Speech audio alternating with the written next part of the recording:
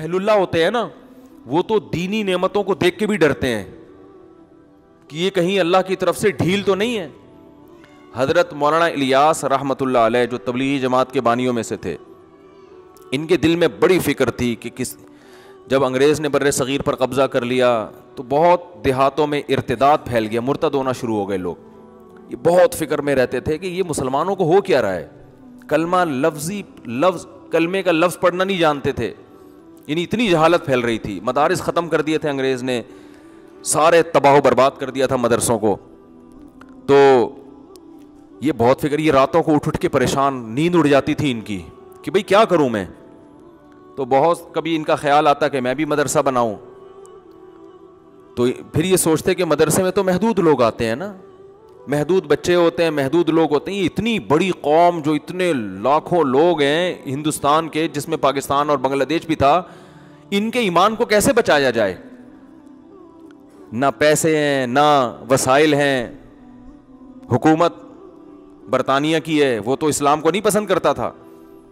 तो इतना दर्द था इनके दिल में, इनकी सवाने में लिखा है कि रातों को नींदें उड़ जाया करती थी इनकी। इनके अहल खाना बताते हैं चहलकदमी कर रहे होते थे रात को। तो पूछते क्या कह रहे हैं, ये ये हमारे, ये नहीं मुसलमानों का होगा क्या? ये तो सारे ये तो सब इस इस्लाम से दूर हो जाएँगे। इसको कैसे रोका जाए? तो अल्लाह ने इनके जहन में ये तरकीब डाली कि भाई कोई अलग से मदरसा बनाने की ज़रूरत नहीं है, कोई इंस्टीट्यूट बनाने की। ये रिवायती तरीके हैं जो सदियों से आ रहे हैं चलते रहेंगे। आवाम में कोई बहुत बड़ा काम करना चाहिए। और इनके जहन में ये बात आई कि जिस चीज़ पे इंसान का जान, माल और वक्त लगता है, इंसान के दिल में उसी की कदर आती है। सहाबा कराम की जान भी लगी, माल भी लगा और वक्त भी लगा। तो इनका जान और माल और वक्त लगाओ। और जिहादी तहरीकें भी नाकाम हो चुकी थी। बहुत से उलमा अंग्रेज़ के ख़िलाफ़ खड़े हुए। ये जितने देवबंद के ओलमा है ना, इनमें कोई एक भी ऐसा नहीं है जिसने अंग्रेज़ के ख़िलाफ़ जिहाद में हिस्सा न लिया ये अंग्रेज़ों मैंने परसों एक किताब पढ़ी, दी लास्ट मुग़ल। ये इंग्लिश में किताब है, एक गोरे की। पूरी किताब नहीं, उसका कुछ हिस्सा पढ़ा। दी लास्ट मुग़ल, ये किताब आप लोग ज़रूर पढ़ें। उस अंग्रेज़ ने मुग़लों की तारीख पर ऐसी शानदार और ऑथेंटिक किताब लिखी है कि हटो बच्चों कर दिया उसने। क्योंकि उसने जब कोई वाक़ात बयान किए ना मुग़ल हुकूमत के ख़ात्मे के तो उस वाक़ात में उसने उस ज़माने के अखबारों के टुकड़े भी पेश किए हैं। उनकी तस्वीरें ले लेके, यानी कितनी एक मुस्तनद किताब लिखी ना उसने। उसने उस किताब में एक बात लिखी है, वो मेरे, मैंने स्क्रीन शॉट भी लिया हुआ है उसका अपने मोबाइल में, कभी मौका मिला तो आपको दिखाऊँगा इन कि अंग्रेज़ जब बर्र सग़ीर में आया तो जो मुसलमान हुक्मरान थे ना, जो मुग़ल बादशाह के जो शहज़ादे और शुरा ये लोग पूरी रात मुशायरा करते और जब फजर की आज़ान होती तो ये सोने के लिए जा रहे होते थे। इस रात भर क्या चल रहा होता था इनका? ये फ्यूचर की प्लानिंग हो रही थी इनकी। रात भर शेर व शायरी के प्रोग्राम चलते। मिर्ज़ा गालिब भी तशरीफ़ फरमा होते, उसमें सारी रात शायरी चलती। और हुक्मरान सुबह सोने के लिए कहाँ जा रहे होते फिर? शहजादे और ये जितने बड़े लोग हैं ना, ये सब सोने के लिए जा रहे होते थे। और अंग्रेज़ सुबह चार बजे अजान से पहले उठ के एक्सरसाइज कर रहा होता था। नहीं आ रही बात, मेरा ख्याल है। अब आप मुझे बताओ, एक कौम सारी रात शायरी सुनती हो, या पबजी खेलती हो, या ड्रामे देखती हो? अब ड्रामे आ गए, पबजी आ गए अब शायरी ख़त्म हो गई। शायरी में तो फिर भी फ़ायदा था, कम अज़ कम उर्दू अदब में तो महारत होती ना, पबजी में तो वो भी फ़ायदा नहीं है। वो भी नहीं है।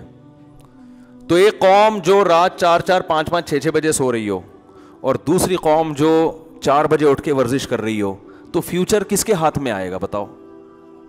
जो रात भर शायरी सुन के, ड्रामे देख के, फ़िल्में देख के, पबजी खेल के सोने वाली कौम है, या वो जो सुबह चार बजे उठ के अपने दिन का आगाज़ शुरू अंग्रेज़ ये कर रहा था। और खुदा का कानून है, जो मेहनत करता है, अल्लाह उसे आता फरमाते हैं, बग़ैर मेहनत के नहीं मिलता। अगर बग़ैर मेहनत के मिलता ना तो नबी सल्लल्लाहु अलैहि वसल्लम बदर में थोड़ी आके लड़ते। अपने सहाबा को ये थोड़ी कहते कि क़वत इख्तियार करो और अपने जिस्मों को मज़बूत बनाओ, ये थोड़ी कहते। आज हमारे यहाँ दीनदार लोग चाहते हैं कि हम नेक बन के सारे, सारा प्रोटोकॉल हासिल कर लें। तो सिर्फ़ नेक बनना काफ़ी नहीं है, बल्कि नेक बनने का हिस्सा है। मैं अभी दोबारा खानका इंशाल्लाह करवा रहा हूँ अभी। आप, पहले मैंने एक डिजिटल खानका तीन दिन की बनाई थी ना? मैंने एक तीन दिन की खानका बनाई थी। एक तो ये मैं लाउड स्पीकर से बहुत तंग आया हुआ यार ये। इसको मैं ऊपर करना पड़ता है, नीचे गिर जाता है तो आवाज़ ही नहीं आती। ऊपर करो तो फिर ये नीचे चला जाता है। सारा बयान मेरा इसी में लग रहा है। इसको सेटिंग कर लो यार, वो किधर चले गए?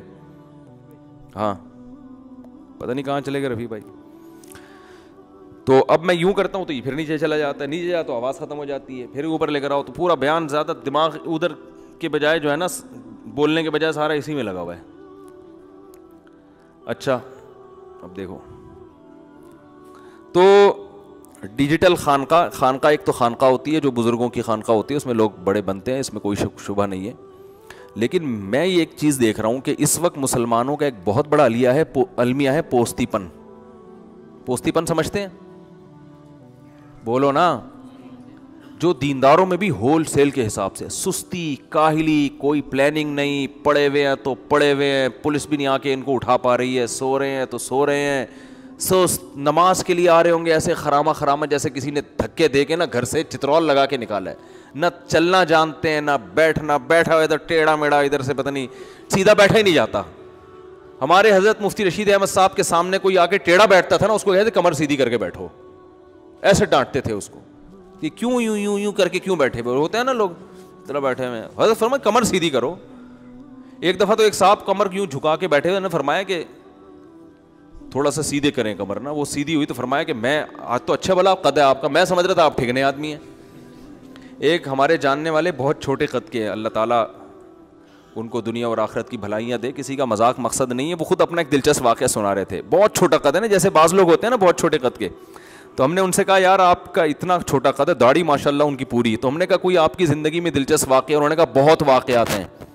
तो उन्होंने अपना वाक़ सुनाया, कहने लगे कि एक दफ़ा मैं पासपोर्ट की लाइन में खड़ा हुआ था, वो मुझे पासपोर्ट दे ही नहीं रहा ना। मेरा, मैं खड़ा हुआ हूँ, पिछले वाले गुजरा मुझे दे नहीं रहा। तो मैं चीखा, मैंने कहा, भाई, मेरा नंबर कब आएगा? उसने कहा, खड़ा तो हो पहले। बैठा हुआ क्यों है? मैंने कहा, भाई, मैं टोटल यही हूँ। तो मैं खड़ा वही हूँ। तो वो खुद अपने वाकया सुनाते थे। उम्मीद है इंशाल्लाह नाराज़ नहीं होंगे वो। तो खैर, क्या कह रहा था मैं? हाँ सुस्त। तो मैंने तीन दिन की ना खानका, उस खानका में ये था, इन कमबख्त मुरीदों को भगाओ।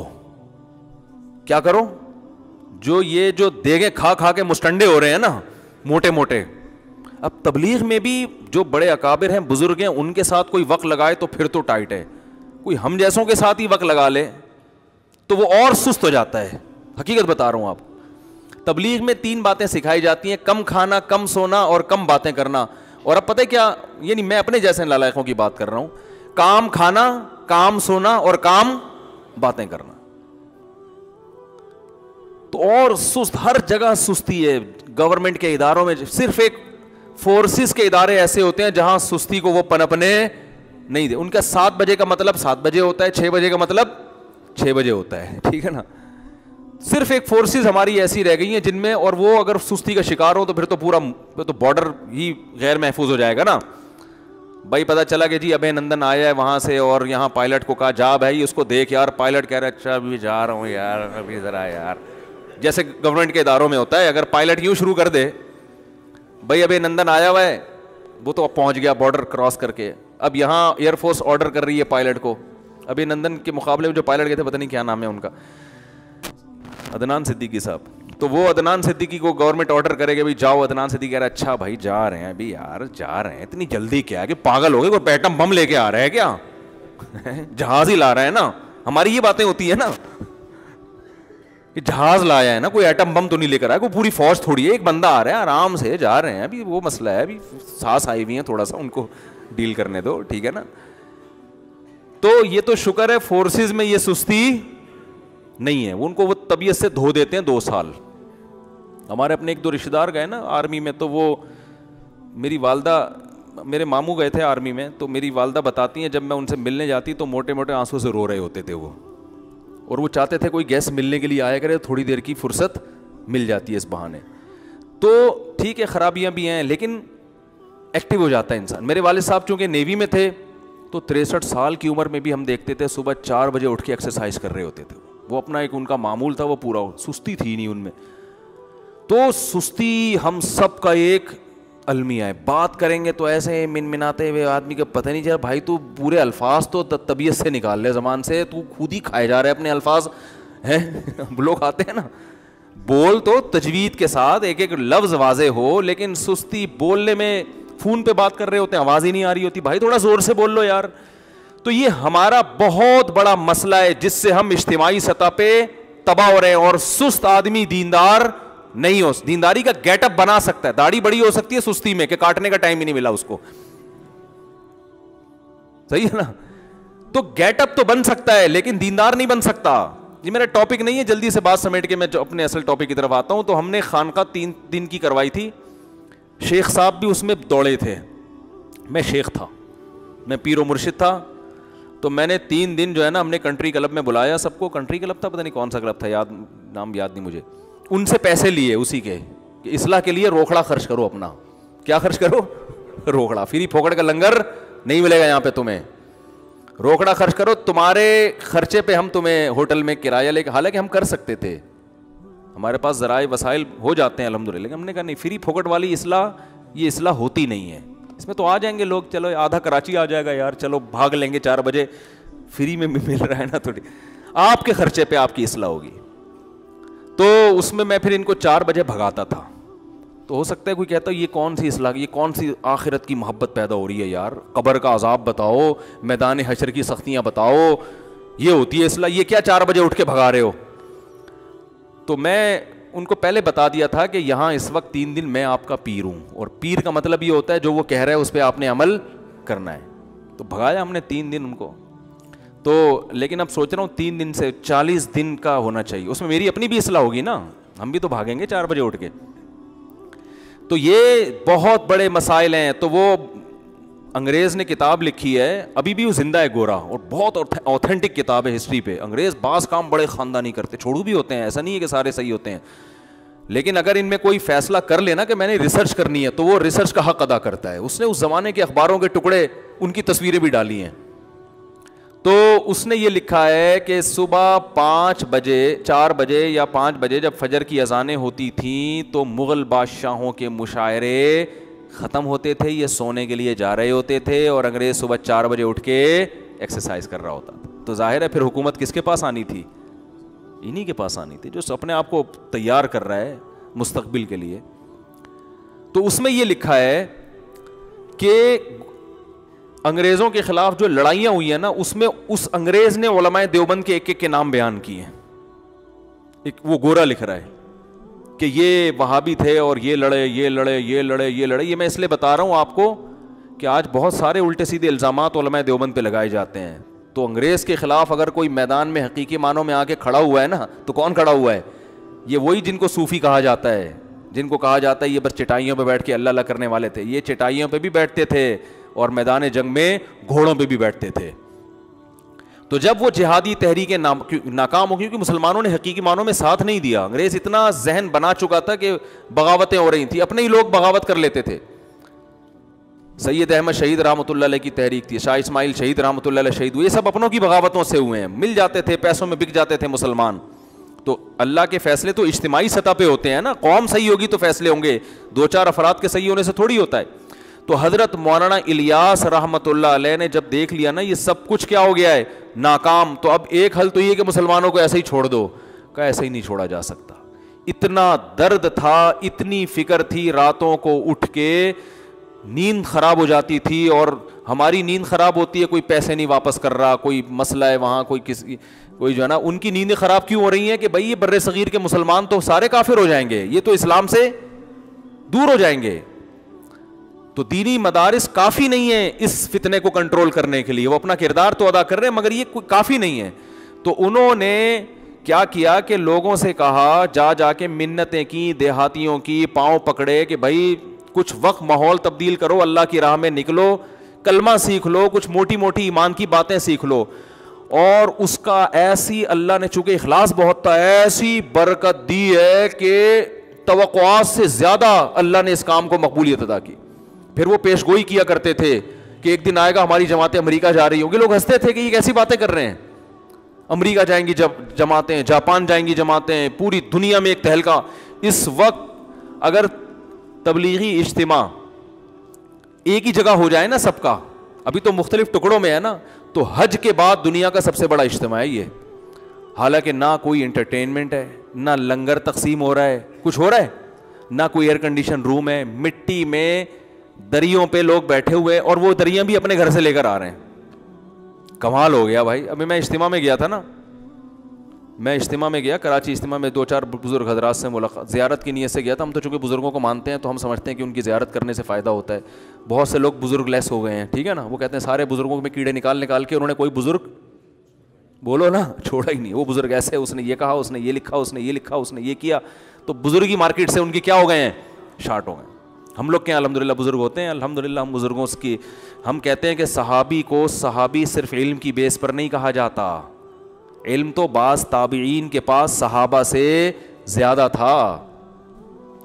बास सहाबा बास ताबीन के हलके में बैठते थे इल्म हासिल करने के लिए। लेकिन मकाम किसका ज़्यादा है? सहाबी का। क्यों? नबी की सोहबत उठाई है। जो नबी की सोहबत से उनको फ़ायदा हुआ है ना एक मरतबा भी ईमान की हालत में नबी के चेहरे की जियारत हो गई। अब बाद वाला कोई उनकी खाक के बराबर भी नहीं हो सकता। इसलिए कि पैगंबर को देखा है, भाई बस यही बहुत है। तो पैगंबर का मतलब मोहम्मद इब्न अब्दुल्ला नहीं। पैगंबर का मतलब रसूलुल्लाह। आप सल्लल्लाहु अलैहि वसल्लम की दो हैसियतें हैं। एक हैसियत है कि आप अरबी हैं, कुरैशी हैं, अब्दुल्ला के बेटे हैं, अबू तालिब के भतीजे हैं। एक हैसियत तो आपकी ये है। इस हैसियत से तो कोई भी किसी को देख ले भाई, उससे मकाम थोड़ी मिलता है। एक हैसियत ये है कि आप अल्लाह के क्या हैं? रसूल है, तमाम पैगम्बरों के सरदार हैं। इसलिए अब आपकी जब जियारत हो रही है तो सिर्फ़ मोहम्मद इबन अब्दुल्ला की नहीं हो रही, बल्कि ये सरवर कायनात की जियारत हो रही है।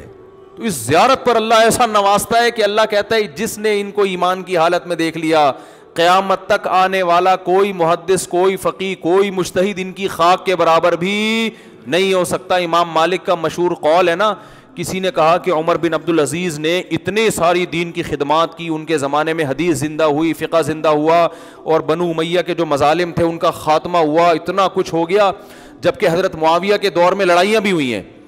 तो क्या उमर बिन अब्दुल अज़ीज़ हज़रत मुआविया से बढ़कर हैं?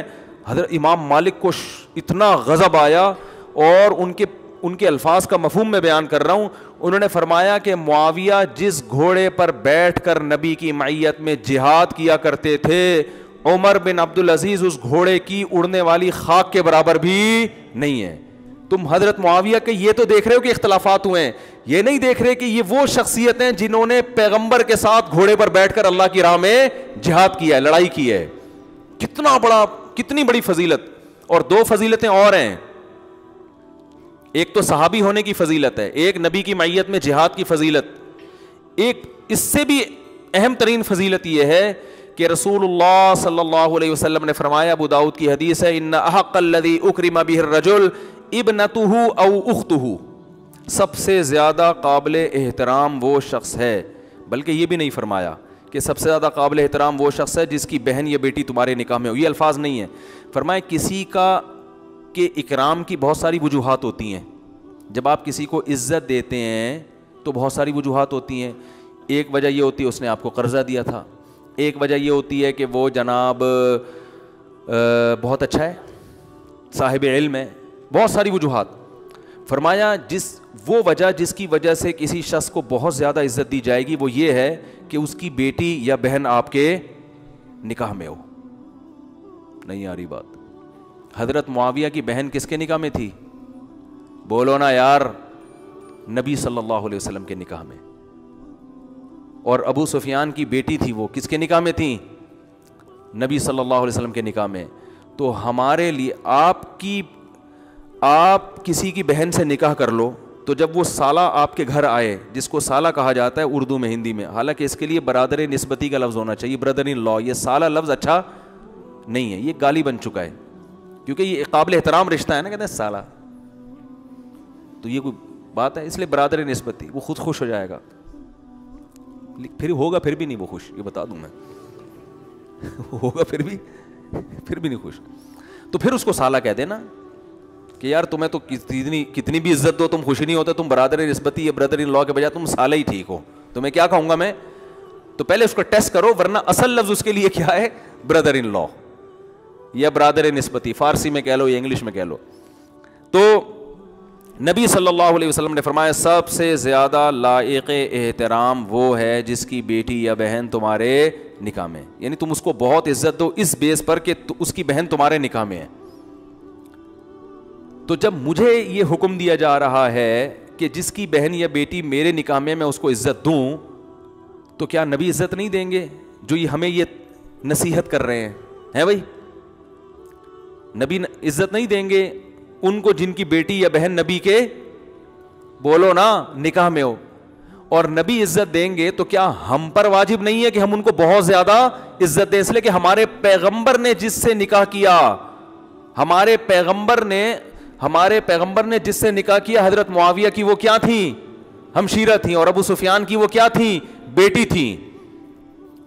तो अहले बैत के नाम पे देखो, अहले बैत से मोहब्बत हमारे ईमान का जुज्व है।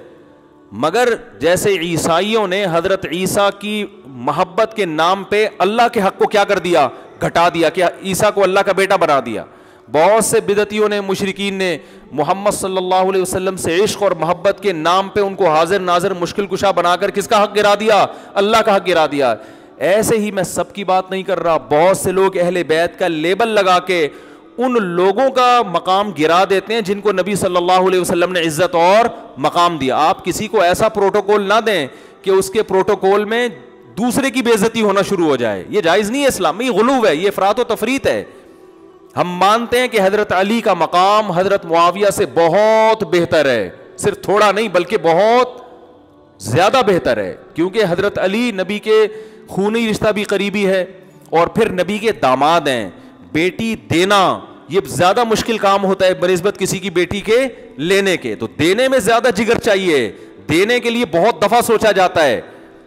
तो इसलिए नबी सल्लल्लाहु अलैहि वसल्लम ने जो इज़्ज़त हज़रत अली को दी, उतनी हज़रत मुआविया को नहीं दी। लेकिन इसका यह मतलब नहीं है कि हज़रत मुआविया काबिल इज़्ज़त नहीं थे। हज़रत अली का मकाम बहुत ऊँचा है, मगर हज़रत मुआविया का मकाम भी कम नहीं है। ना हज़रत अबू सुफियान का मकाम कम है। तो मैं बात कर रहा था सोहबत की। तो सहाबी रसूल को ये प्रोटोकॉल क्यों मिला? इसलिए कि उन्होंने पैगंबर सल्लल्लाहु अलैहि वसल्लम की सोहबत उठाई।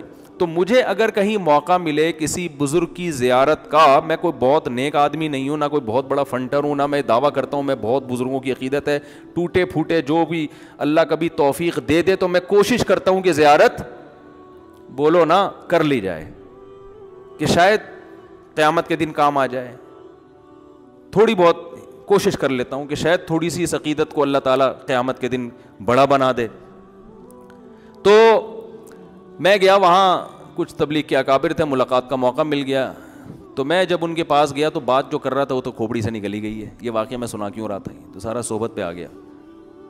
ये वाक्य क्यों सुना रहा था मैं? हाँ वो जो अब शुक्र आ गया दिमाग में। जब भी दिमाग को खोपड़ी का होना तो वो एकदम एक्टिव हो जाता है। ये मैं, मैंने तजर्बा करके देखा दिमाग बोलोगे, खोपड़ी बोलोगे ना, एकदम दिमाग की खोपड़ी घूम जाती है फिर। ठीक है ना? भूली हुई बातें याद आती हैं। खोपड़ी का लफ्ज़ में अट्रैक्शन बहुत है। तो मैं जब उधर गया ना तो वहाँ एक दो बुज़ुर्गों से ज़्यारत हुई। तो वहाँ हम जब बैठे ना खाना, खाने के लिए, मैं इखलास बता रहा हूँ कि हज़रत मौलाना लियास रहमत का जो सीने का दर्द था ना, वो कैसे मुंतकिल हुआ है। हालाँकि ना कोई इसबाब थे, ना कोई वसाइल थे बल लोगों के जा जा के मिन्नतें करते थे, कुछ वक्त लगाओ, अपनी जान, अपना माल, अपना वक्त खर्च करो, उसकी बरकतें देखें। कैसे अरबपति, करोड़पति लोग जमात में निकले, सारे काम ऑटोमेटिक हो रहे हैं। डॉक्टर भी बैठे हुए हैं, कोई फ़ीस नहीं, ठीक है ना? होटल खुले हुए हैं, कोई प्रॉफिट नहीं है।